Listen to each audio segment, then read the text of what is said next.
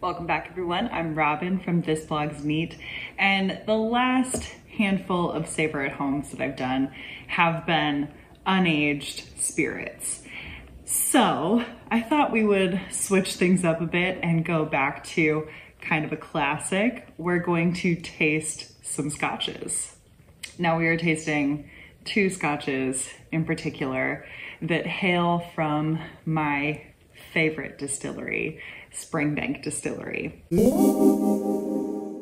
So Springbank is a distillery in the Campbeltown region of Scotland, and they produce three different types of single malts that come out of the Springbank Distillery. They have Springbank, Hazelburn, and Longrow.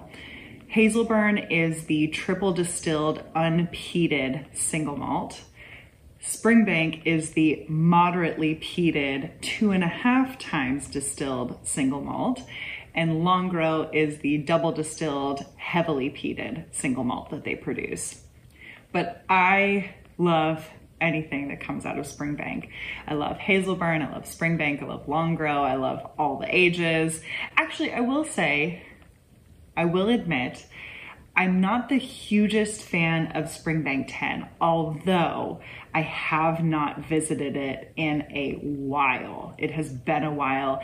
And the reason being, it is very hard to get your hands on now. So Springbank is kind of a small operation relative to the rest of the Scotch industry. I don't know exactly how much they're producing every year, but they're producing a lot less than, say, like Macallan. However, the quality of spirit that comes out of the distillery is so, so, so delicious. And I think that's because they have a hand in every part of the process. So they are doing everything except for like growing the barley, right? They are malting it themselves. That means they get control over the peat levels and everything. They're doing mashing, fermentation, distillation, obviously, and maturing it themselves. So just having everything in house, I think gives you a little bit more of a leg up, a little bit more control over all the entire process. And some aspects of the process give the distillate a bit more of what's referred to as Campbeltown funk. This is like an oily, nutty, funky thing. It doesn't come across as like peanuts like you would get from say like Heaven Hill or Jim Beam but there's a little bit of like a nutty, oily quality to this. It tends to have a really nice viscous mouthfeel as well. I think that this nuttiness and oiliness comes from how their spirits are distilled. So they have three direct fire stills, and the direct fire is literally applying a fire underneath the still. And this allows some of the caramelization reactions to occur within the still. Maybe that builds up some of that roastiness, that nuttiness.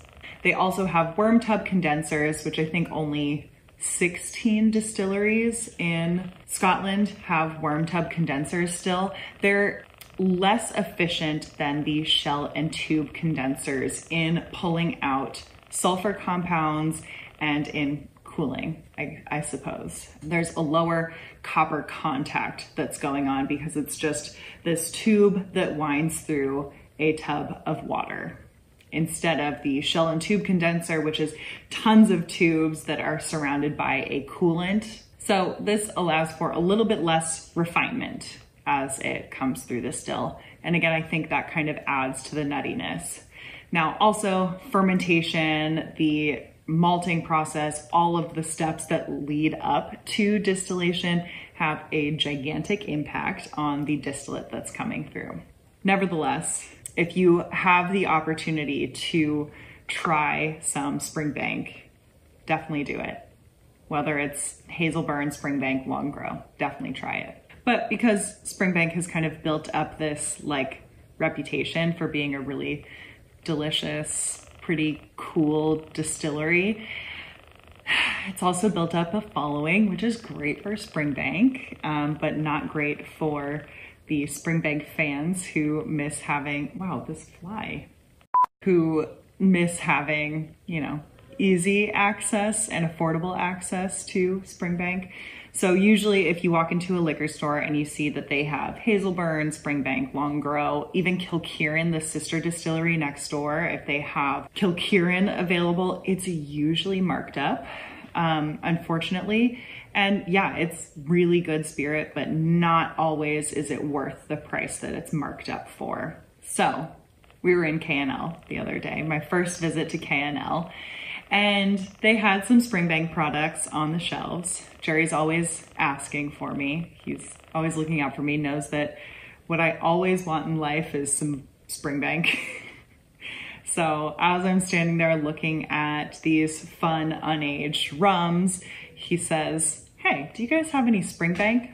And they maybe had a bottle in the back that, uh, yeah, I then took home with me and have since been thoroughly enjoying. So without further ado, you've already seen the title of this, uh, so you already know what I'm tasting. But what I picked up was Springbank 15. I didn't have this at home. What I do have at home and what I have had for a number of years is the Springbank 15 rum cask. This is one of their limited releases and I just happened to stumble into Total Wines at the right time when they had this on the shelves. And I have tasted this Springbank 15 rum cask before. However, I thought it would be a really cool side-by-side -side to taste the Springbank 15, which is part of their core line, alongside one of their limited releases that's also aged for the same amount of time and is Springbank, their moderately peated two and a half times distilled distillate. So a number of things are different about these bottles. Um, first of all, the rum cask is aged in rum casks. Now the Springbank 15 is aged in 100% sherry casks. So that's why it is so freaking dark. Also, something to note about Springbank, they don't do chill filtration. There's no color added. So all of the color is natural. In Scotland, you are allowed to add some uh, caramel coloring when bottling. God, do I even dive into this right now? So some distilleries choose to do that, and this is supposed to be for batch consistency. So say if I had two bottles of the Springbank 15 side by side, but say they were different batches and one was slightly darker than the other, the customer might get a little confused, right? So it's said that it's supposed to add consistency. But anyways, Springbank does not do that. Some other things that are different is that the Springbank rum cask is at 51% ABV, whereas the 15 year here is at 46% ABV. This is also a 700 milliliter bottle. So we can now carry those in the US, by the way, um, if anyone cares. So for the Springbank 15 year, I paid 160 for this. For the Springbank 15 year rum cask, I paid about 175, 180 for this. So honestly, not bad prices for either of these. And the spirit inside is well worth it. So under the Springbank label, they have a number of different flagships. They have their 10 year, they have their 12, their 15, their 18, and their 21. The 10 year is aged in mostly ex-bourbon barrels, but also has about 40% of the mix is sherry barrels as well. The 12 year is all 100% ex-bourbon barrels and it's bottled at cask strength. The 15 year, as I said, is 100% sherry barrels. The 18 year is a similar split to the 10 year, but now it's 18 years old. It's 65% bourbon and 35% sherry. And then the 21 year is sherry and port. So it's 55% sherry casks and 45% port casks. Let's taste these side by side. So we'll start with the regular 15 year. And right away you can see, as I pointed out, there's a ton of rich color in there. That's a nice like burnt caramel color, but not super, super dark, but yeah, some good, a good caramel color in there. Actually, before I taste, I do want to give a huge shout out to the Patreons. Thank you guys so much for helping to support the channel and for being a part of our neat community over on Patreon. And if you, the viewer, would also like to join us over on Patreon, I've got a link in the description below where you can join us over there and I would greatly appreciate it. And if you also want to support the channel in other ways, make sure to give this video a thumbs up and subscribe, share the video with friends, watch more of my videos because I have a lot of tastings like this. So if you enjoy these whiskey tastings, I have a lot more for you to choose from. Okay, let's dive in to the Springbank 15 year. Mm. Okay, so there's some light roastiness and it's like borderline auto body shop, but like a lot cleaner. And if the auto body shop is just like really, really far away, I just get a whole bunch of chocolate covered fruits. This is like juicy oranges, like juicy candied oranges and chocolate covered dates, chocolate covered salted caramel as well. There's something a little bit savory in here, but what it reminds me of is like the crust of a coffee crusted steak. There's also some sweet nuttiness and it's reminding me of marzipan. Hmm. This is so good. Oh. Mm. Mm, mm. There's a nice warming quality to this and it builds into this nice creamy mouth feel. There's tons of rich syrupy dried fruits. So like prunes and dark cherries. What are those? Luxardo cherries in the syrup. Mm, and then I get some of that roastiness, that like roasted coffee thing comes forward. There's some spices as well. So some cloves and some like charred cinnamon bark. I'm getting a little bit of that sweet orange come forward as well as like molasses and more burnt caramel. Mm, mm, mm, mm, mm, mm. This is so nice. I should move on to the rum cask now. So this was distilled in December 2003 and bottled in August 2019. There were only 9,000 bottles produced. And this is clearly much lighter in color. Like, look at that difference. So the sherry cask definitely has a big impact on the color that you get. This, I would call like a golden, golden color. Keep it simple. This also has that light roastiness, but it's like all a bunch of bright flavors. So I'm getting like a lot of bright citrus zest and the oils. There's a sweet floral thing as well. And there's pineapple. This is like grilled pineapple. Ooh, there's also some cinnamon, like almost like red hot cinnamon and some vanilla. There's almost like a grassy thing to this. It's kind of paired with that sweet floral thing. So it like reminds me of fresh trimmed rose bushes. this one also has such a nice oily mouthfeel. Oh, it's so good. So that light roastiness comes forward. I'm getting some like peat flavor, but it's not like the burnt peat um, it's more of like the mossy peat and it's very, very, very light. I'm getting a lot of like orchard fruits, like pears, but maybe a little char on the pears and some apples as well. There's some of those like caramel cashews.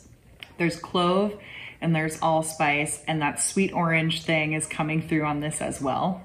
And then kind of the finish brings you back to this sweet, very tender, very juicy pear. Mm. If I go back to the nose of the regular 15, I get like such a sweet barbecue sauce. Both of these are fantastic. And I'm very happy to have both of them. Um, and will be very sad when both bottles are empty yeah, what's the take home here? What's the take home? If you are able to get your hands on either of these for 160, 170, 180 dollars, like I'd say very well worth the price. If it's more in the 200 plus range, I don't know. Like other things that I can compare it to, would I prefer drinking this over say like the Balvenie 21 year Portwood that's $220? Probably, but that's because I do like peat and I do like this Campbeltown funk. Yeah, I'd say if it's well over $200, like try another liquor store, try another supplier, find a friend who has some that will share some with you. But if you find the 15 year for, yeah, anything under $200, I'd say you'd probably enjoy having this. so with Springbank, like I said, the prices have really risen. Um, and I think that is because of demand, right? Demand has risen. Um, but for the baseline products, right, we have Hazelburn 10 year and we have Springbank 10 year and then just Longrow, no age statement on Longrow. For those bottles, I have seen them marked for a hundred and a little over a hundred, and I'd say that's just a little bit too much. Like I would pay probably 80 for any of those. Um, have I paid 85, 90, 95? Yeah. Would I do it again? Like probably if I'm feeling like spending. but it should not those those baseline products should not be over a hundred dollars so again like try to find another liquor store that either doesn't know what they have or is very firm that they're not going to mark up the prices if you are a fan of springbank let me know in the comments what your favorite go-to bottle is if i had to pick a favorite out of the two of these I like wouldn't be able to do it. So what a cop out. The Springbank 15 rum cask is much lighter and like much more like something that I would want to drink midday or if I'm like in a happy kind of like bubbly mood. The Springbank 15 with those dark fruit flavors, those chocolatey coffee notes, this is more of like a cuddle up next to a fire with a book type whiskey. Um, so you won't catch me drinking this. Well, you'll you'll catch me drinking this any time of day, really. Uh, but like when I would crave this would be more towards the evening, whereas when I would crave this would be more towards the day. So don't ask me to pick a favorite because I won't. And this is my YouTube channel, so I can do whatever I want. Let me know what you think about Springbank in the comments below. So Springlebank, Springlebank. Total Wine, I will say, is pretty good. No, I'm not gonna say that. No, because sometimes things are marked up. So this was distilled in December.